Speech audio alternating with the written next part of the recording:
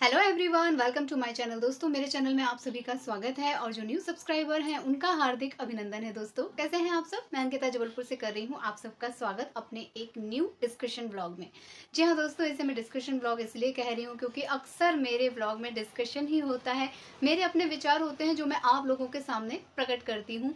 हमेशा मेरे आस जो हो रहा होता है, मैं उसी से कुछ न कुछ चीज़ों को जो है मंथन करती हूँ और फिर सोचती हूँ कि इन सब चीज़ों के पीछे भी कोई ना कोई है, कोई ना कोई रीज़न है, तभी मेरा जो है माइंड यहाँ पर फंस गया है स्ट्राइक हुआ है सडनली ये चीज़ मेरे मन में तो मैं इसे आप लोगों तक पहुंचाऊं, आप लोगों तक इस पर विचार विमर्श करूँ। तो आज का ब्लॉग मेरा डिस्कशन ब्लॉग है।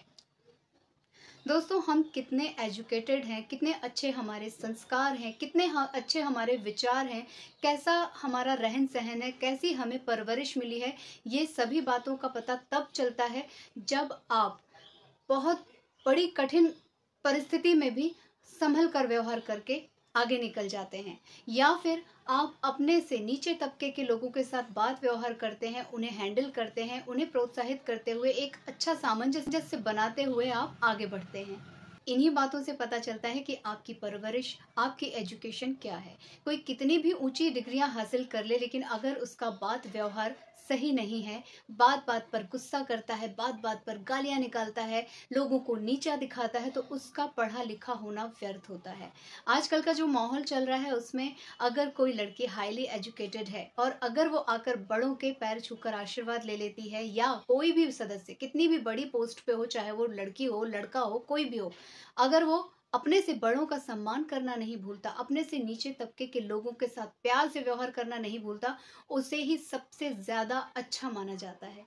अगर कोई लड़की हाई हील डाल के और लोगों को इग्नोर करके वहाँ से निकल जाए, वो बड़े हैं, छोटे हैं, काका हैं, काकी हैं, मामा हैं, मौसी हैं, इन सब बातों को इग्नोर करते हुए वो निकल जाए हाय हेलो करके तो वहाँ पर वो कितनी भी एजुकेटेड हो, कितना भी उसकी अच्छी परवरिश हुई हो, लेकिन वहाँ पर ही उसका आकलन कर लिया जाता है कि वो किसी काम की नहीं है। उसकी पढ़ाई लिखाई किसी काम की नहीं। कठिन से कठिन परिस्थिति में अपने मन को शांत रख के, गुस्से के टाइम में अपने आप को स्थिर रख के, बुरी से बुरी परिस्थितियों में सोच विचार को साध के अपने सही डिसीज़न के माध्यम से आगे बढ़ जाने वाले व्यक्ति को सबसे ज़्यादा चतुर, संस्कारी और बुद्धिमान माना जाता है। बुद्धि की परीक्षा ही तब होती है जब आप विकट परिस्थितियों में हो। अपने नेचर से विपरीत परिस्थितियों में हो, तभी आप अपना परिचय, अपने परिवार का परिचय, अपने संस्कारों का परिचय देते हैं। लेकिन आजकल का जो माहौल है, या हम जितनी टेंशन में रहते हैं, हम जितनी परेशानियों में उलझे होते हैं, ये असंभव है कि कितनी भी अच्छी आपकी शिक्षा हो, कितनी भी अच्छी आपका परवरिश हो, कितनी भी अच्छी सीख आपने ग्रहण की हो, थोड़ा बहुत डिसबैलेंस होना माइंड का तो चलता ही है, बनता ही है, होता ही है। आप कितना भी अपने आप को स्थिर रखें, लेकिन जब आपके सामने कोई संकट आता है, कोई विपरीत परिस्थिति आती है तो आपका मन डगमगा जाता है, आप हिल जाते हो। आप तुरंत डिसीज़न नहीं ले पाते हो। आप अपने आप को स्थिर नहीं रख पाते हो। बहुत सारी ऐसी विषम परिस्थितियाँ आती हैं। कभी तो हमारे खुद के कार्य क्षेत्र में आ जाती हैं, कभी हमारे घर परिवार में आ जाती हैं, कभी हमारी हेल्थ इशू को लेके कुछ चीज़ें हो जाती हैं, जिसमें हम घबरा जाते हैं फ्रस्ट्रेट हो जाते हैं। इवन बच्चे, बड़े, बूढ़े सभी इन परिस्थितियों से आगे जूझते हुए बढ़ते हैं। और कहते हैं ना कि समय कभी लौट के नहीं आता। इन परिस्थितियों में हम जो व्यवहार कर जाते हैं, चाहे वो अच्छा हो, बुरा हो, जो भी व्यवहार हम कर देते हैं, वो वो कभी हम पलट के चाह के भी हम उसको नहीं बदल सकते। अगर मैंने अपने बुरे समय में या अपने अच्छे समय में घमंड में चरम पे होके मैंने किसी का अपमान कर दिया तो मैं चाह के भी उस चीज़ को वापस रिपीट नहीं कर सकती और उसके बाद मैं किसी का कितना भी सम्मान करती रहूँ, उसे मेरी वो बातें शूल की तरह चुप चुकी होंगी, मेरी एक धारणा बन चुकी होगी और उसे मैं चाह के भी नहीं मिटा सकती। कहते हैं ना कि समय लौट के कभी नहीं आता।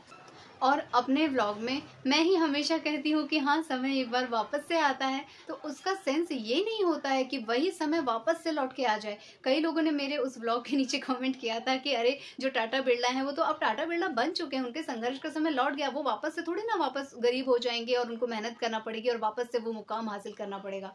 मेरे कहने का मतलब ये है कि जब आप अपने उस टाइम पे स्ट्रगल कर रहे होते हैं या कोई चीज़ आपके साथ हुई होती है, वो चीज़ अगर आप अपने आसपास होते देखते हैं तो आपको अपना वही समय याद आता है। आपको अपनी वही उलझने याद आती हैं, आपको अपनी वही परेशानियाँ याद आती हैं।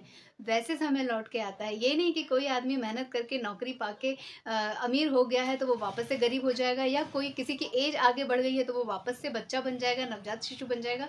ये मेरे कहने का मतलब नहीं है। लेकिन हाँ समय लौट के आता है। उस सेंस में जो मैंने अभी आपको बताया समय लौट के कभी नहीं आता है, उस सेंस में जब हम किसी का विकट परिस्थितियों में अपमान कर देते हैं, कोई गलती कर देते हैं, कोई गलत डिसीज़न ले देते हैं, हम सिर भी पटक लेंगे, लेकिन फिर भी हम उस क्षण को वापस नहीं ला सकते। इसलिए अपने आप को स्थिर रखना बहुत ज़रूरी है, लेकिन ये असंभव है। ये बहुत मुश्किल काम है कि आप उस घड़ी में अपने आप को स्थिर रखें, आप सही डिसीज़न ले सकें। असंभव है यह हमारी प्रकृति के खिलाफ है। हम चाह के भी ये काम नहीं कर पाते हैं। क्यों? कुछ घटनाएँ, काल, परिस्थिति ऐसी हो जाती है जो हमारा साथ नहीं देती। कुछ ग्रह नक्षत्र ऐसे हो जाते हैं जो हमारा साथ नहीं देते। मैं हमेशा आप लोगों से अपने वीडियो में होम रेमेडी की बातें करती हूँ या योगा की बातें करती हूँ एक्यूप्रेशर पॉइंट्स के बारे में बातें करती हूँ। जो भी कुछ होता है मेरा, मैं जितना जानती हूँ वो आप लोगों के साथ मैं शेयर करती हूँ। लेकिन लेकिन मैं कुंडली में भी उतना ही विश्वास करती हूँ, ग्रह नक्षत्रों में मेरा उतना ही विश्वास होता है, ठीक उसी तरह जैसे लोग बोलते हैं कि अमावस्या, पूर्णिमा और अलग अलग जो फेस्टिवल्स होते हैं छोटे छोटे से त्यौहार होते हैं, जिनमें लोग गंगा, नर्मदा स्नान करके अपने आप को पवित्र करते हैं, दान दक्षिणा करते हैं, बहुत सारी चीज़ें करते हैं और ये रिचुअल्स हर हिंदू घर में आपको मिलेगा ही मिलेगा। नाइन्टी परसेंट लोग ये सारी चीज़ें करते ही करते हैं। लेकिन गंगा स्नान स्नान और ये सारी चीज़ें तो हमें सिखाई गई हैं। एक और स्नान होता है दोस्तों, उसके बारे में आज मैं आप लोगों के साथ बात करूँगी। वो स्नान होता है धुनी स्नान। धुनी स्नान अगर हम करते हैं तो हमारे जो इंटरनल बॉडी ऑर्गन्स होते हैं, वो उससे शुद्ध होते हैं और उसका बहुत फ़ायदा होता है। इंटरनल बॉडी ऑर्गन्स का शुद्ध होना क्यों ज़रूरी होता है? ये सारी बातें मैं फिर कभी बताऊँगी। आज मैं आपको सिर्फ़ इतना बताऊँगी कि जैसे आप गंगा स्नान करते हैं, नर्मदा स्नान करते हैं, वैसे ही अगर आप ये स्नान हफ़्ते में एक दिन ज़रूर करें तो आपको बहुत सारे रोगों से मुक्ति मिलेगी। छोटी छोटी बातों में जो हम अपना आपा खो देते हैं, जीवन में स्थिरता आएगी मन में स्थिरता आएगी। हम कुछ लेने के लिए जो हम बहुत ज़्यादा सोच में पड़ जाते हैं कंफ्यूज हो जाते हैं, वो सारी चीज़ें क्लियर होंगी। हम बहुत अच्छा और सही डिसीज़न लेने के मार्ग पे चलेंगे और ये स्नान सबको करना चाहिए, स्त्री पुरुष सबको।